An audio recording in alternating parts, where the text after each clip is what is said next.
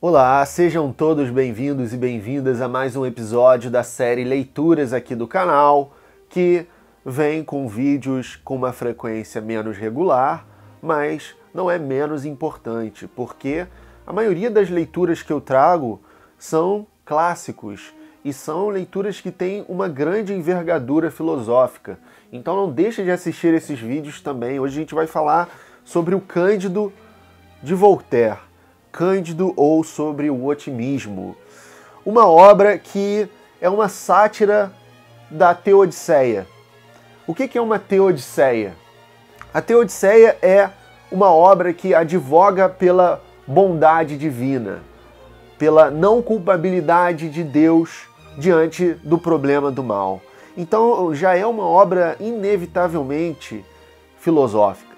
E aqui ele está se reportando muito diretamente ao Leibniz, que foi um filósofo muito popular no século XVIII, o maior dos racionalistas do período, o mais falado dos racionalistas do período, pois, como vocês talvez saibam, Gottfried Leibniz, um filósofo alemão e matemático que rivalizou com Newton, ele tem uma teodiceia, uma famosa teodiceia, na qual ele diz que nós estamos no melhor dos mundos possíveis e que não, não teria sido possível para Deus criar um mundo mais perfeito que esse, com menos sofrimento do que esse. Porque por mais que a gente não compreenda, tudo faz parte de uma harmonia divina, mesmo os sofrimentos mais gratuitos, as doenças, os terremotos, como o terremoto de Lisboa, que é tematizado aqui na história que se passa no ano que ele aconteceu, 1755 ou 1756, que era também o ano, o período em que Voltaire estava vivendo quando escreveu essa obra. Então vamos falar sobre tudo isso no Cândido de Voltaire.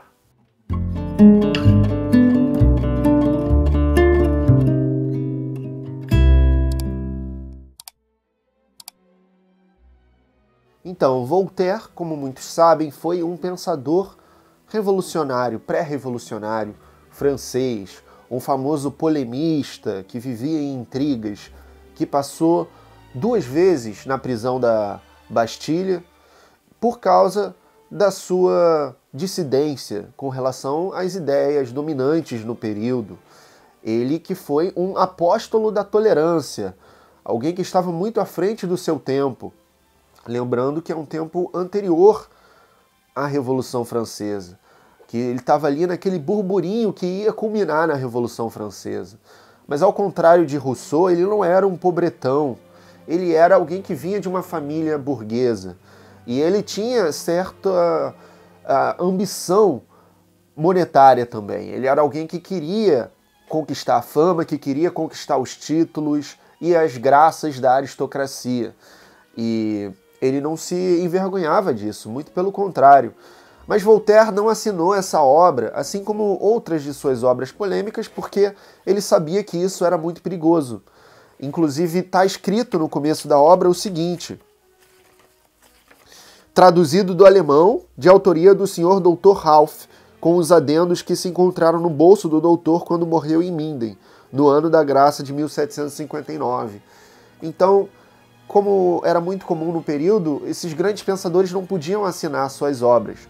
Mas essa aqui é uma obra de maturidade de Voltaire. É uma obra que Voltaire publicou, se não me engano, quando ele estava já com os seus 65 anos, depois de viver anos de maturação intelectual, de publicar muitos poemas e contos. Existe também o, o, volume dos contos de Voltaire. Eu tenho aqui uma edição dos contos de Voltaire, que é também recomendada aí para quem quiser se, apro se aproximar mais desse escritor e se aprofundar na sua obra. É muito baratinho, você encontra essa edição nos sebos e na internet. O mais famoso é o Zadig, mas nenhum deles se compara ao Cândido, que a gente vai ler aqui alguns comentários do Ítalo Calvino, mas é uma obra que é muito paradigmática, porque ela já é muito moderna. Ela é tanto uma sátira dos romances de aventura, como uma ironia das ideias filosóficas dominantes no, no período. O racionalismo de Leibniz e a sua metafísica ilusória. Voltaire, muito embora não fosse ateu, ele fosse um deísta, ele acreditava que existia um Deus, ele rejeitava toda, todos esses sistemas teológicos, é, escolásticos e racionalistas, porque ele sabia que aquilo não passava da ilusão humana, tentando justificar problemas que eram injustificáveis na realidade e que se encontram sob o título de o problema do mal, o grande problema do mal, tanto o mal natural quanto o mal de índole humana, que tentam se explicar pelo livre-arbítrio. Mas e o mal natural? E o terremoto de Lisboa que os personagens enfrentam? E as desventuras associadas a doenças e patologias?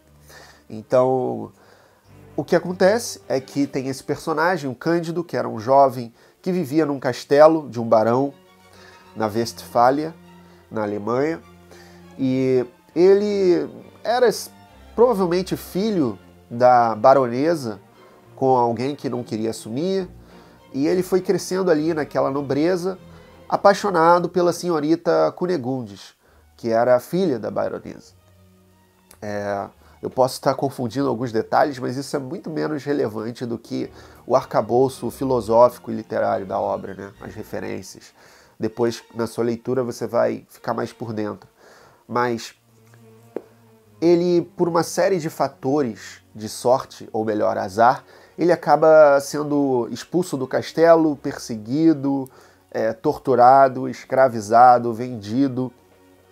É quase um, um grande jogo de dados as aventuras de, de Cândido. E ele é, tem o seu preceptor, que é o Dr. Pangloss, que é o, o, o, filósofo que representa né, uma sátira de Leibniz, né, que é, vai trazer todos os argumentos leibnizianos, estamos no melhor dos mundos possíveis, tudo tem sua razão suficiente, nada acontece sem uma razão suficiente para acontecer, né, todo efeito tem sua causa, e Cândido admirava muito esse cara.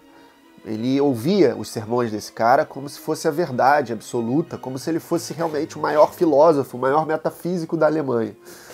E o que há nessa história é um grande contraste entre a teoria de Pangloss e a realidade enfrentada por Cândido e pelo próprio Pangloss, que no final da história, depois de ser enforcado, chicoteado escravizado, quase morto, né, tem um, uma ironia do morre e não morre dos personagens, ele, ele não admite, embora reconheça no seu íntimo que ele está errado, ele não admite que a sua teoria é falsa, que esse não é o melhor dos mundos possíveis, e que o problema do mal é um problema muito real, e que desbanca essa teologia que é, defende do mal o Deus cristão.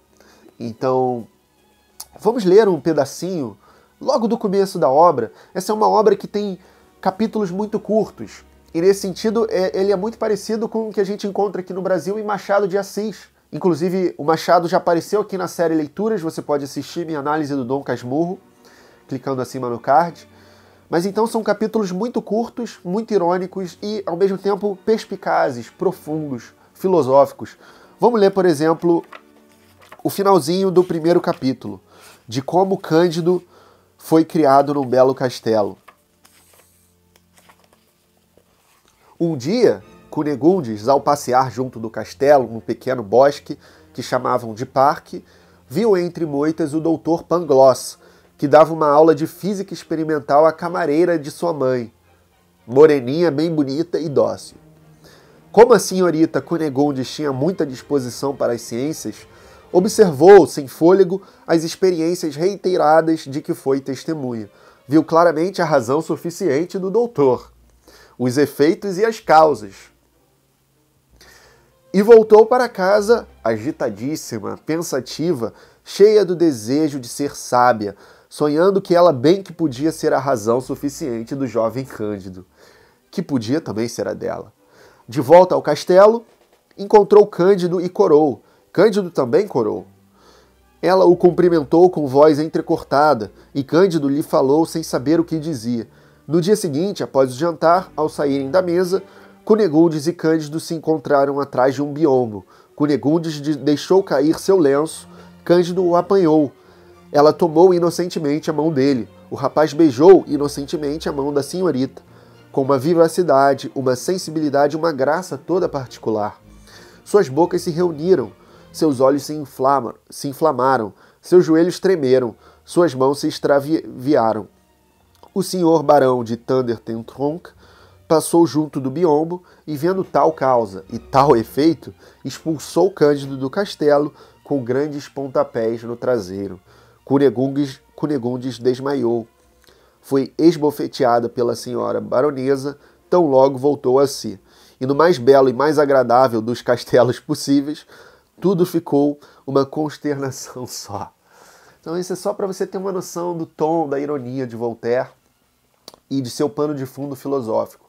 Você encontra o Cândido para comprar aqui na descrição, tá?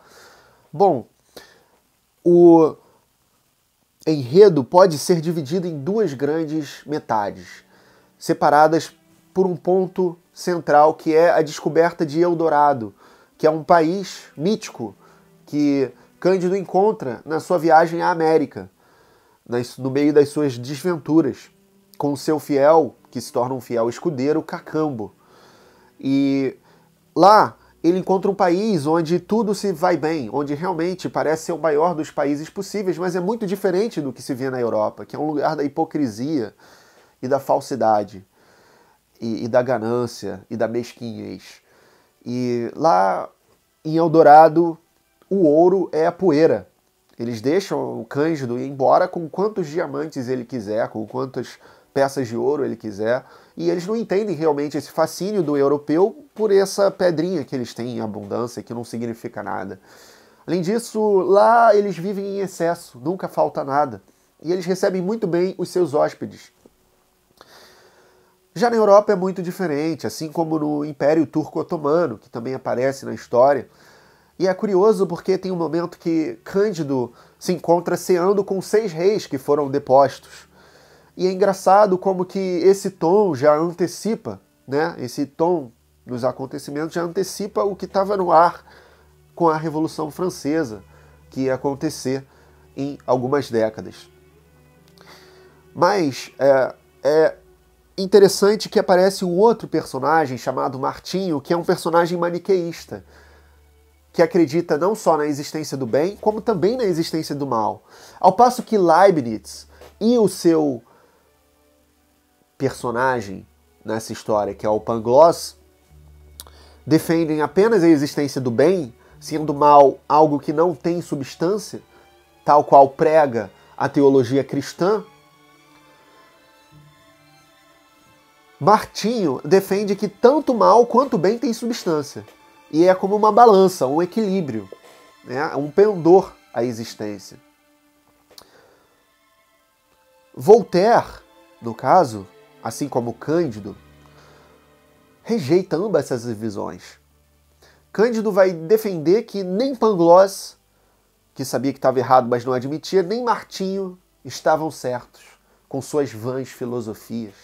Ele vai defender, no final da história, quando ele já está do lado de sua tão amada Cunegundes, mas que se encontra feia e enferma, e a vida é novamente um fardo, uma dureza, uma dificuldade, uma desilusão, ele vai defender que a verdadeira sabedoria é aquela mais prática, aquela mais calcada na realidade e não tanto no pensamento, aquela de que nós devemos cultivar o nosso próprio jardim Todos esses discursos filosóficos são belos, mas no fim do dia, um camponês que cuida do seu jardim e cultiva uma vida simples é mais feliz do que um rei que é guilhotinado no fundo, ou que perde tudo que ele teve. Vamos ler alguns comentários do Ítalo Calvino, que escreveu Por que Ler os Clássicos.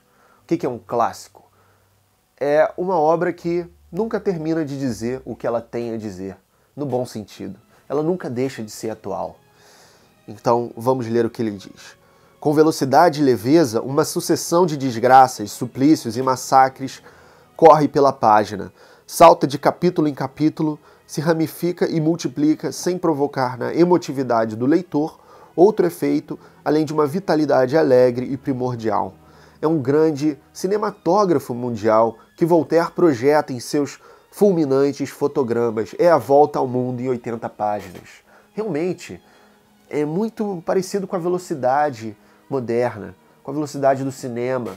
Imagina o que Voltaire teria sido capaz de fazer, ele que adorava peças de teatro. O que, que ele teria conseguido fazer com os aparatos cinematográficos, como diretor de cinema? Seria incrível ver um filme do Voltaire. O filósofo Franklin de Matos comenta no artigo A Moral do Jardim, publicado em seu Filósofo e o Comediante, da editora UFMG. Visto que o mal existe, que o mundo no qual vivemos é este e não o melhor dos possíveis, trata-se agora de saber como se pode viver nele, quer dizer, trata-se de formular a sabedoria que nos resta. A sabedoria final do conto recusa tanto Pangloss quanto Martinho. A sabedoria de Cândido é a que devemos cultivar o nosso próprio jardim.